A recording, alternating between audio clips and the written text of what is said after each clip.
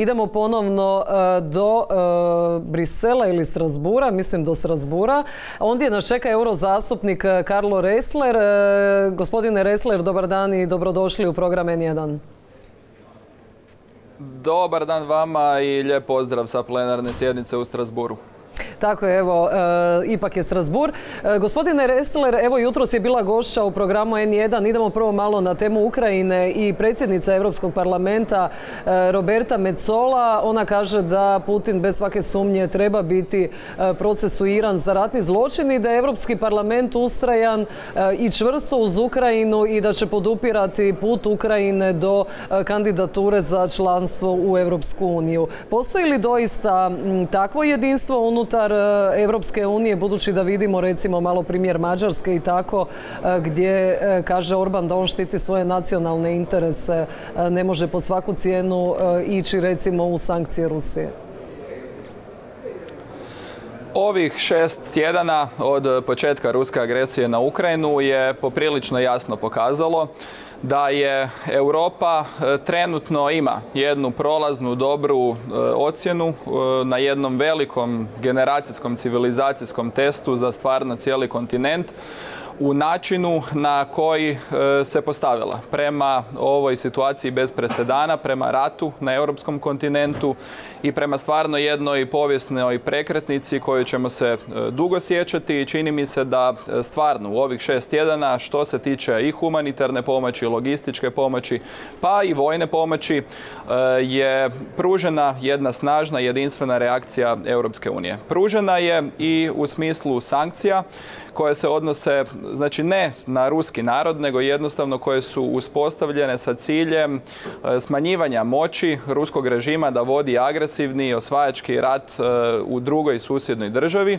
i jasno je da je tu Europa morala i da je napravila jedan jasan civilizacijski odabir. Za nas koji dolazimo iz Hrvatske, koji smo se ne tako davno suočavali sa e, sličnom situacijom u kojoj smo bili predmet, meta napada e, snažnijeg predatorskog režima susjeda i to nakon jedne stvarno jezive propagande, jezive pripreme, jezivih izlika o nekakvoj navodnoj ugroženosti ruskog naroda, o nekakvom navodnom nacizmu ili fašizmu, e, da osjećamo ovu situaciju poprilično jako, da su još uvijek bolna sjećanja i na e, ratna stradanja, ali i na ratne zločine e, koji su se događali u Vukovaru, Škabrnji, Vočinu i da sve to jednostavno nas podsjeća sada i na ovu situaciju u Ukrajini. Zbog toga i za nas kao Hrvatsku i za Europsku uniju oko toga ne može biti nikakve dileme da moramo pružiti snažnu podršku na koji je god način moguće, a jasno je također da nakon ovih šest tjedana ulazimo u jednu fazu kada će to europsko jedinstvo biti stavljeno pod još jedan snažniji test. Da, e, pod još jedan snažniji test, e, Roberta Mecola i sama je jučer u obraćanju zastupnicima, a i danas ponovila u intervju, rekla da traži još oštrije sankcije Rusiji. Međutim, e, nije sigurno problem samo Mađarska. Tu je i pitanje Njemačke, čije gospodarstvo ovisi o ruskom plinu. Velike njemačke tvrtke upozoravaju da se to ne može preko noći ugasiti. Očekujete li vi ipak da će zbog zaštite nacionalnih interesa svake pojedine članice ipak to jedinstvo biti poljuljano? Mislim, vidjeli smo na primjeru e, borbe s korona krizom kako je to u početku izgledalo i kako je svaka država e, brinula o sebi, a nije baš se e, požurila recimo u početku slati pomoć Italiji u vidu respiratora i tako. Očekujete li sličnu situaciju, odnosno je li moguća i sada po pitanju Ukrajine? Upravo, upravo odgovor, europski odgovor na pandemiju je bio dobar pokazatelj nakon, slažem se, prvih dana, e, možda čak i tjedana, nesnalaženja pokazalo je snagu i važnost europskog odgovora u konačnici sa najvećim rekordnim e, paketom, investicijskim paketom pomoći onima državama koje su bile najugroženije, koje u konačnici iskoristi sada i Hrvatska, dakle preko 25 milijuna, milijardi eura koje imamo na raspolaganju raspolaganju za ulaganje u jednu stvarno transformaciju našeg društva i koji moramo iskoristiti. Ali ako se vratimo na sada ovu današnju situaciju, na pitanje jedinstva u pogledu Rusije, u pogledu sankcija prema Rusije, mislim da će prevladati svijest da je nužno djelovati jedinstveno, da je nužno djelovati snažno. Očekujem da će se raspravljati dalje o tome kako je moguće izdržati ovakav tempo sankcija, kako ih je moguće e, još osnažiti, znači izbjeći bilo kakve mogućnosti e, za obilaženja e, sankcija koje trenutno postoje. I u tom kontekstu moramo biti realni. Razumijemo da države različite unutar Europske unije imaju različite pozicije, da su neke bliže, pa onda primjerice zbog toga podnose ogroman teret e, što se tiče zbrinjavanja izbjeglica, dakle preko 4 milijuna izbjeglica koji je ovih šest tjedana moralo napustiti Ukrajinu jer su njihovi domovi sravnjeni sa zemljom, jer e, nemaju pristup hrani, vodi i jer bježe od ratnih razaranja. Danas je e, preko 2 milijuna takvih ljudi, izbjeglica, uglavnom žena sa djecom, smješteno u Poljskoj i Poljska je zajedno sa drugim državama koje su neposredno u blizini Ukrajine u snažnijoj situaciji što se toga tiče. Mislim da bolje vjerojatno razumiju i ratna razaranja koja se događaju, ali e, na kraju mi se čini da će prevladati ta svijest i da je Europska unija pokazala to jedinstvo. Tako da bez obzira na ove razlike koje se e, počinju pojavljati ili neke razlike u nijansama, e, ostaje činjenica da su se sve europske države članice u potpunosti solidarizirale, da su prihvatile i da trpe na neki način posljedice i na svoja gospodarstva gospodarstva najvećeg paketa sankcija u povijesti, ikada u povijesti Europske unije i to je nešto što već tada e, daje rezultate, ali je jasno da će se tako trebati nastaviti i kasnije. Dobro, gospodine Resler, e, jučer smo vidjeli prizore iz Buče, e, ubijenih civila, ljudi zavezanih ruku na leđima, ljudi koji su imali bijele trake što označava da nisu bili naoružani. Nekako cijeli svijet je jedinstven, odnosno svjetski čelnici od Bajdena do čelnika Europske unije nadalje, da jest riječ o genocidu, hrvatski predsjednik Milanović jučer kaže da treba biti oprezan, da je to daleko kako ocjenjujete e, te Milanovićeve izjave? Dobro, vi ste u EU parlamentu, ali e, HDZ-ovi zastupnici u Hrvatskoj vrlo oštro e, po Milanoviću, recimo na Facebook profilu nazivaju ga Kremljenko. Kakav je pogled na cijelu situaciju na Milanovića iz Strasbura, odnosno Brisela? Pa za početak mislim da ovdje u Strasburu nema nikakve dileme oko toga što se događa u Ukrajini. Za početak oko toga da je na nju izvršena brutalna agresija što je već samo po sebi ratni zločin.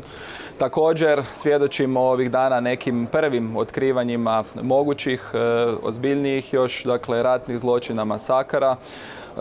E, sumnjam da je ovo jedan izolirani slučaj. E, jednostavno sve, ono, sve one informacije kojima sada raspolažemo, ali one informacije koje pružaju e, i ukrajinski kolege govori o tome da su takva postupanja koja su protivna humanitarnom pravu, koja su protivna pravu rata jednostavno raširena i mislim da danas u ovo doba jednostavno neke izravne medijske komunikacije pa i takvog praćenja rata je to nemoguće ne vidjeti i da je to nemoguće ne osuditi. Pa zato kažem, evo, u tom kontekstu, kako, kako gledate na izjave predsjednika Milanovića?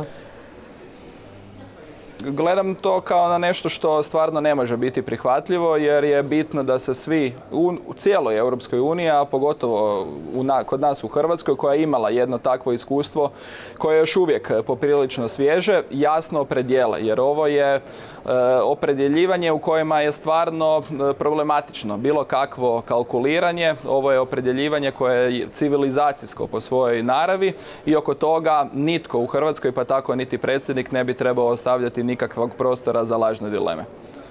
E, da, e, to bi svakako trebalo biti nešto što e, bi trebalo jasno, apsolutno i osuditi.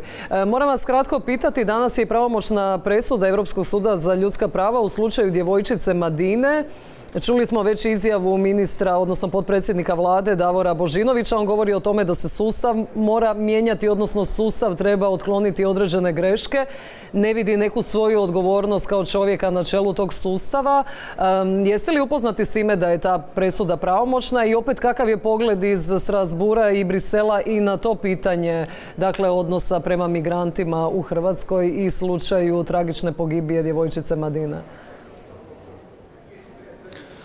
Vidio sam e, ukratko o čemu se radi, dakle u presudi suda koji je ovdje zapravo u Strasburu gdje smo i mi ovoga tjedna. E, jasno je da se takva presuda mora poštivati, nisam imao vremena jasno proučiti je detaljno, ali je e, također očito da bi svi trebali izvući iz takve presude pouke, da je za Hrvatsku od početka bilo jasno da postupa, posebno važno da postupa sa jednom najvećom razinom poštivanja e, međunarodnog, europskog pa i nacionalnog zakonodavstva po ovom složenom, kompleksnom pitanju. E, oko toga takva naša hrvatska opredjeljenost jednostavno mislim da nikada nije bila upitna na jednom sustavnom planu. E, nažalost, jasno je da se i ovakvi tragični incidenti događaju, da su se i dogodili. Žao mi je jasno zbog toga, kao vjerujem i svima koji sudjeluju u hrvatskom sustavu i kažem, ključno je da se iz ovoga izvuku po kako bi hrvatski sustav e, bio još bolji, još e, ljudski na neki način, ali sa jednakom razinom učinkovitosti. Da, gospodine Resler, evo e, pred kraj razgovora još vas pitati za komentar izbora u Srbiji i Mađarskoj, odnosno e, već ste davali izjave da Aleksandar Vučić će se morati jasno odrediti e, prema Rusiji, inače taj put Srbije prema Europskoj uniji neće biti lagan ili neće biti moguć uopće. Smatrate li zapravo njegovu retoriku predizbornom? Očekujete li doista promjenu sad nakon izbora ili će Srbija, odnosno srbijanska vlast nekako ostati na liniji te Ruske federacije i te njihove istine kada je riječ e, o invaziji na Ukrajinu? Ovo je jednostavno jedan trenutak e, takvih proporcija e, na takvoj povijesnoj prekretnici gdje je nemoguće bilo kakvo takvo otužno kalkuliranje kako smo vidjeli u Srbiji. U oči ovih izbora nužno je da se Srbija jasno odredi oko ovog temeljnog pitanja, da jasno kaže, dakle, je li na strani Zapada, je li na strani Europe, je li na strani civilizacije ili je na strani e, agresije. Oni jesu podržali, dakle i deklaratorno, ali i sa svojim glasom rezoluciju Ujedinjenih naroda, ali e, kažem znači na smislu nekakvog, nekakvih sankcija, ali isto tako i jasnog e, upiranja prsta u krivca. E, oko toga su bili nešto suzdržani. Nadam se da će se promjena dogoditi sada nakon ovih izbora, ali za nas koji dolazimo iz Hrvatske, koji smo upoznati sa likom i dijelom aktualnih e, srbijanskih lidera. Mislim da ne moramo imati nikakve iluzije e, o tome što se događa u Srbiji, da jednostavno moramo e, nastaviti pratiti situaciju ne samo u Srbiji nego u cijeloj, cijeloj jugoistočnoj Europi da e, dobro prepoznajemo nekakve elemente e, stare, ofucane srbijanske politike pa iz 90-ih sa nekakvim pokušajima hibridnog djelovanja u gotovo svim svojim susjednim državama. I oko toga e, trebamo biti jasni, to trebamo vidjeti, trebamo pokušati raditi na našim dobrosusjedskim odnosima, inzistirati na rješavanju svih onih rezidualnih pitanja, prije svega tu mislim na pitanje civilizacijsko također, pitanje rješavanja nestalih iz domovinskog rata koje podsjećam još uvijek nije riješeno. I to su sva ona pitanja na kojima hrvatska vanjska politika, hrvatska diplomacija pa i mi ovdje u Europskom parlamentu inzistiramo, na kojem ćemo inzistirati i dalje, a jasno je da se e, nakon ovih izbora u Srbiji nije promijenilo puno, jer e, znači neće se promijeniti vlast, neće se promijeniti vlada, neće se promijeniti predsjednik, a srbijanski narod, srbijanski e, građani su izabrali vodstvo koje će ih voditi u sljedeće četiri godine. Evo još za sam kraj e, vezano za Viktora Orbana i Mađarsku. Orban je dakle jasno rekao, e, on je ponovio dakle veliku pobjedu, ponovno dvotrećinska većina e, u parlamentu. On kaže da štiti mađarske interese i da ne može biti toliko involviran u sankcije Rusiji jer da ne može biti na strani Ukrajine u onoj mjeri koja bi značila po njemu uništenje Mađarske. Nadam se da će prevladati razum, da će prevladati svijest o tome da sama zajedno Europa može odgovoriti na sve one posljedice ratnih zbivanja u Ukrajini. E, to se odnosi i na e, energetsku ovisnost o ruskim energentima, to se odnosi na probleme poremećaju u globalnim e, sigurnosnim E, opskrbama hrane, e, svih poljoprivrednih proizvoda. To je nešto e, što Europa mora reagirati zajedno. Mađarska sada ima priliku da također nakon ovih izbora u četvrtom mandatu dakle predsjednika vlade Orbana napravi također jedan iskorak da pokuša popraviti odnose i sa europskim institucijama na slični način kao što se to dogodilo u odnosima Brisela i Varšave u velikoj mjeri upravo zbog ove krize koja je sve one razlike koje postoje među državama članicama, koje postoje među nama politički, stvarno bacila u drugi plan i mislim da tu treba prevladati svijest i jedna odgovornost u konačnici da moramo biti jedinstveni i da moramo zajedno odgovoriti na ovu najveću krizu od drugog svjetskog rata. Gospodine Resler, puno vam hvala na gostovanju u programu N1 i zapravo ovoj analizi i e, stanja u Ukrajini i postizbornoj analizi. Hvala još jednom, bio je ovo Karlo Resler iz Strasbura. Hvala puno vama.